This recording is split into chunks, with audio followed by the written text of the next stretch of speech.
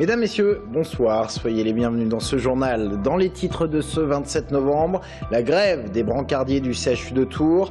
Ils dénoncent le manque d'effectifs et par conséquent la dégradation de leurs conditions de travail. Serge Babary, huit mois après son accession au pouvoir à Tours, quel bilan peut-on en faire? Question que nous nous posons ce soir.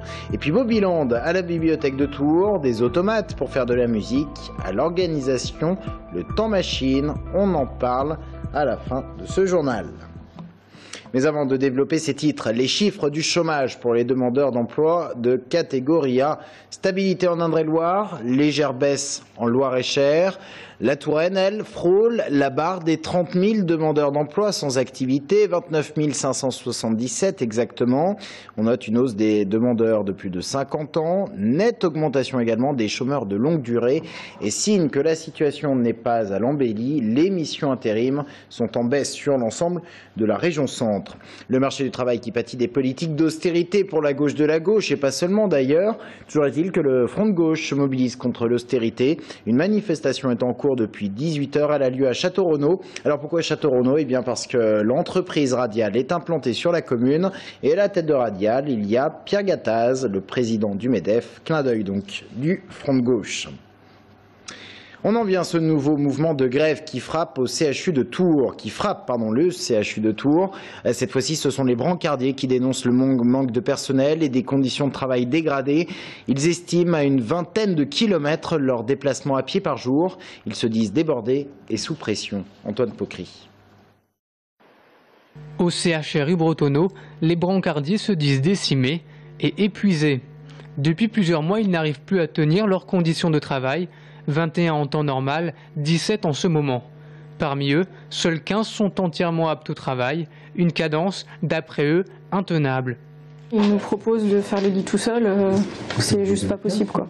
On a des lits d'obèses, on a des lits, euh, on a des lits très très lourds, euh, les sols sont pas forcément adaptés non plus sur tout Bretonneau. c'est très compliqué pour tout le monde quoi. Tous les jours, ces agents parcourent 20 km en moyenne dans les couloirs et ascenseurs de l'hôpital Bretonneau. Les brancardiers de cet établissement transportent 400 patients par jour dans des délais toujours plus courts. On est obligé de faire intervenir les services pour euh, nous aider à faire les transports. Ah. On a une pression énorme des médecins, euh, des infirmiers, euh, de nos cadres, de la direction, etc. Pour eux, pas de doute, la direction est responsable de cette situation. Ils ont d'ailleurs déposé un droit d'alerte. Lors d'une réunion de négociation, les deux parties ont pu se rencontrer et discuter. L'occasion pour la direction de présenter ses nouvelles directives la poursuite du remplacement des arrêts longs, un renforcement euh, par euh, l'embauche euh, d'un agent complémentaire pour remplacer les, arrêts maladie de courte durée. Et de plus, nous avons donné un certain nombre de mesures qui concernaient l'organisation du travail et les situations de santé au travail. Pour le moment, aucun accord n'a été trouvé entre la direction de l'hôpital et les syndicats. La grève, quant à elle, sera reconduite jusqu'à la semaine prochaine. De leur côté, les avocats continuent leur grève avec des reports toujours d'audience. Et cette image symbolique aujourd'hui, celle d'avocats qui ont cassé au marteau des clés USB, des clés USB qui donnent accès au système informatisé RPVA pour réseau privé virtuel avocat un système qui les met en lien direct avec le tribunal de grande instance. Ce réseau est dévoyé selon la profession. Été décidé euh, par euh, euh, les avocats du barreau de Tours dans la mesure où des atteintes très importantes sont formées par le projet Macron contre notre profession, contre notre déontologie contre la territorialité de notre profession, de purement et simplement casser symboliquement le lien qui nous rattache au tribunal de grande instance, euh, à savoir la clé euh, du réseau privé virtuel avocat, qui est euh, l'élément qui nous permet de communiquer directement avec la juridiction. C'était il y a huit mois environ. Les élections municipales portaient à la tête des municipalités un nombre conséquent d'élus de la droite et du centre. C'était le cas à Tours avec la surprise Serge Babary. Huit mois après, quel bilan? La droite n'a toujours pas voté son premier budget. On attendra donc de voir l'année 2015. Mais certains dossiers ont déjà dû être, euh, dû être traités, des dossiers sur lesquels Serge Babary a marqué son empreinte. Les rythmes scolaires, le dossier chaud que Serge Babary a dû traiter dès son entrée en fonction avec son adjointe à l'éducation Barbara Darnay-Malaquin. Son prédécesseur Jean Germain avait dû affronter la colère des parents d'élèves et du corps enseignant.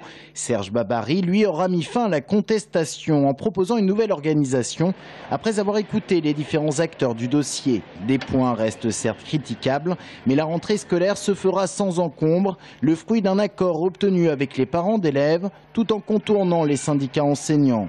L'écoute, mais la fermeté, une qualité du maire appréciée par ses interlocuteurs, même dans les milieux politisés de gauche comme la culture et le bateau ivre. Bon, on est sorti en se disant c'est la première fois qu'on rencontre le maire et l'adjoint à la culture dans la même réunion.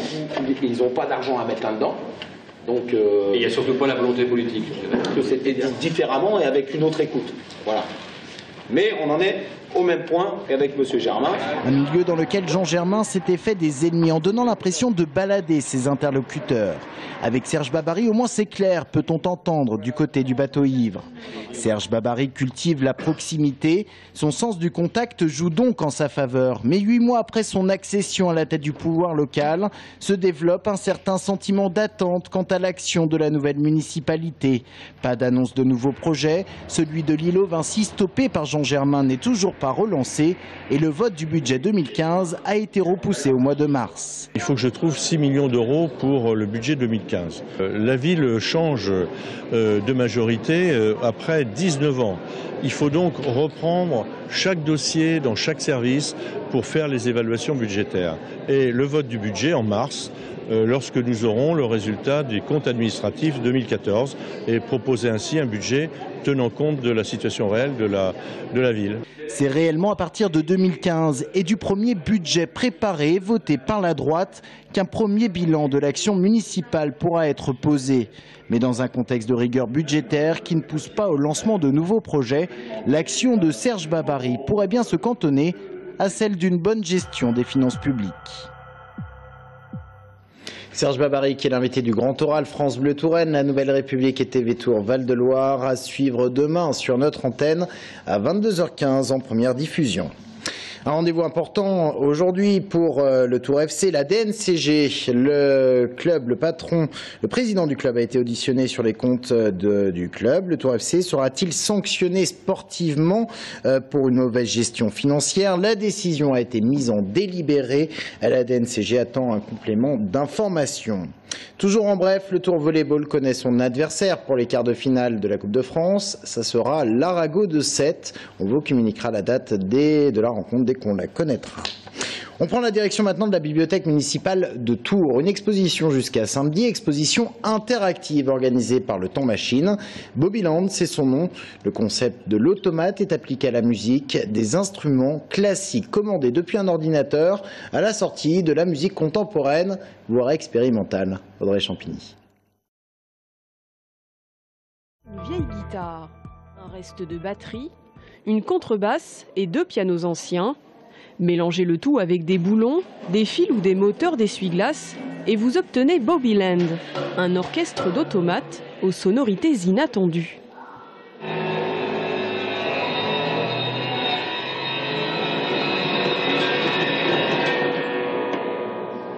Pour produire des sons, euh, ce- c'est des moteurs qui sont judicieusement placés pour pouvoir, euh, bah, par exemple, un, un solénoïde va pouvoir avoir cette action.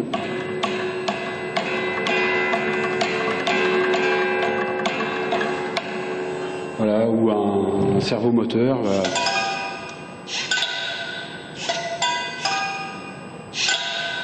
Grâce à ces Bobbies, surnom donné à ces robots musiciens, Racine Bigicli et Anthony Taillard, les deux artistes nantais, souhaitaient créer comme un théâtre d'objets, aussi bien sonores que visuels, le tout contrôlé par informatique. L'auditeur est ainsi plongé dans un univers psychédélique où les instruments, bien que classiques, paraissent dénaturés, voire même torturés. On m'a accusé hein, de maltraiter mes instruments, mais euh, je pense pas. Je, euh, je m'y attache énormément. Et euh, même si, euh, même si j'ai pas peur de, les travailler avec une perceuse ou, euh, ou d'y greffer des, des choses, de visser carrément des, des, moteurs ou d'autres types d'ustensiles dessus. L'installation Bobbyland, organisée par le Temps Machine, est à voir et à écouter jusqu'à samedi à l'auditorium de la Bibliothèque centrale de Tours. En bonus, les deux artistes sont présents et font fonctionner l'orchestre tout en présentant l'histoire de chaque robot. Tout autre registre au CDRT, le Centre dramatique régional de Tours.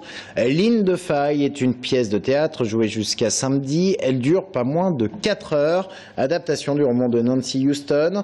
L'histoire se déroule en 1935 dans l'Allemagne nazie et rencontre des fontaines de vie, ces institutions qui avaient pour objectif d'élever les enfants qui allaient composer la race aryenne. Sabrina Meloult, Anaïs Michaud. Fais gaffe, fais gaffe. Une histoire poignante autour d'un secret ignoble qui lie huit personnages. Interprété avec justesse et intelligence par huit comédiens, Ligne de faille, c'est avant tout l'adaptation d'un roman à succès. Et puis d'une rencontre forte, celle du livre et d'un metteur en scène, Catherine Marnas. C'est vrai que c'est un peu une folie. Enfin, euh, je sais que d'adapter un roman, c'est déjà pas forcément évident. Antoine Vitesse disait il faut faire théâtre de tout. Et j'avais très envie d'une narration, d'une vraie histoire. Une histoire comme quand on est petit, qu'on nous raconte vraiment une histoire et qu'on s'embarque dans une narration au sens fort du terme. Une histoire dure qui aborde la réalité des Lebensborn en 1935. Ces laboratoires d'enfants volés dont le but était ainsi de créer une race aryenne. Quatre périodes partagées avec le public où l'on remonte le temps à chaque fois raconté par un enfant. Une narration particulière qui est véritablement la clé de l'intrigue.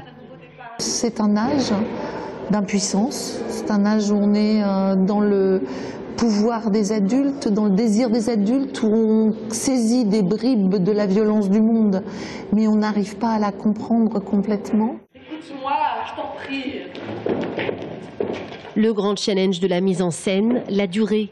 Quatre heures d'histoire, d'enquête, d'intrigue, de jeu, d'acteurs, un défi quant à la performance des comédiens, mais également pour la mise en scène qui doit savoir entretenir son rythme. Ils sont que 8 sur le plateau. En général, les spectateurs sont très surpris au salut parce que comme ils font un nombre de rôles avec perruques, changements, d'ailleurs, je regrette toujours que les spectateurs ne voient pas les coulisses. C'est un peu comme de la Formule 1. Donc du coup, c'est un vrai, un vrai challenge pour eux, oui. Octobre s'écoule KA et puis arrive le jour de Halloween. Ligne de faille, un spectacle déjà joué à plusieurs reprises sur différentes scènes de France et souvent le même verdict. Quatre heures après, le public n'a généralement pas vu le temps passer. Restez avec nous dans un instant. Nous recevons euh, le colonel Cyril Duvivier. Il est le commandant de la base aérienne 705.